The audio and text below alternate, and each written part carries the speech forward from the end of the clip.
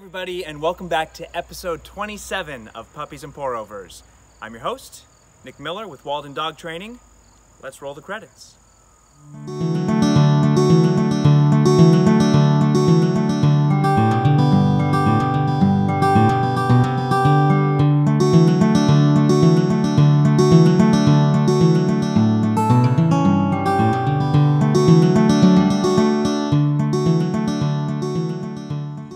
There's a crisp feel to the air.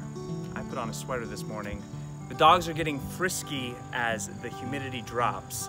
There's pumpkin flavor everywhere, and I may have even spotted a few rogue red leaves in the maple tree around the corner from my house.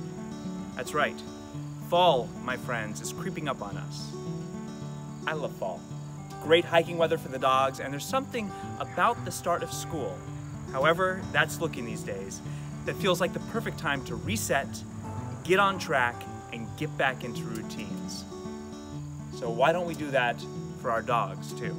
Why are dog trainers so insistent on creating good schedules for dogs? Well, one of the greatest gifts we can give our dogs is clarity about what is expected of them and how the world around them operates. In fact, almost all behavioral issues can usually be traced back to a breakdown in communication.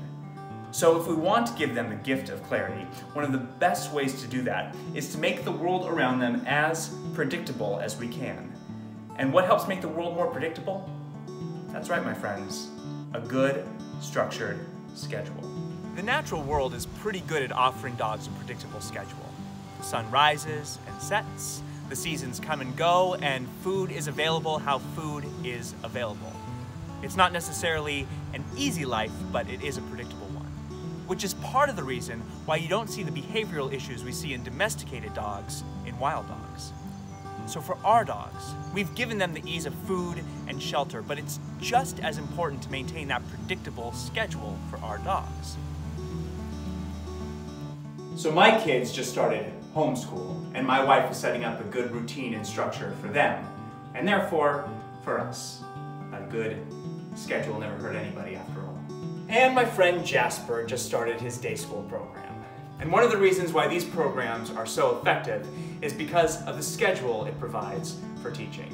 We clearly set up when it's time to work, and therefore I'm able to maximize the learning that happens. Jasper, let's go! So let's think about all of the needs for our dogs this fall season, not just what's easy or what makes us feel good. Our dogs need that structure to help them navigate their world, and it's up to you to help them on their way.